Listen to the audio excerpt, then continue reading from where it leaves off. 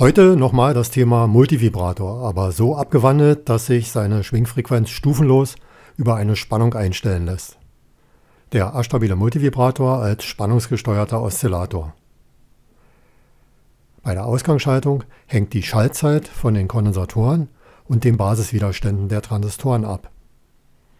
In der erweiterten Schaltung werden die Basiswiderstände durch steuerbare Widerstände in Form von zwei Transistoren ersetzt. Die Basisanschlüsse von Transistor 1 und 2 liegen über R2 und R3 genau auf der halben Betriebsspannung.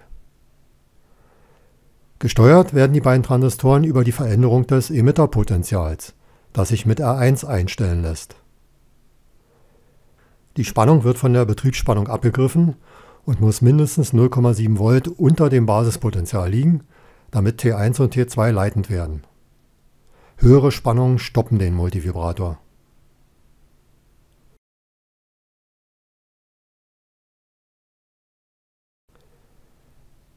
Bereits kleine Spannungsänderungen haben relativ großen Einfluss auf die Frequenz.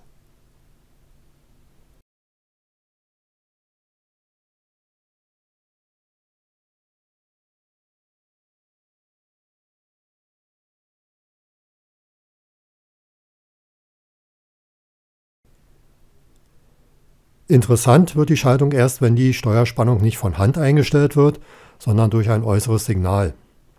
So entsteht eine frequenzmodellierte Schwingung am Ausgang. Ich habe hier einen Dreiecksgenerator angeschlossen.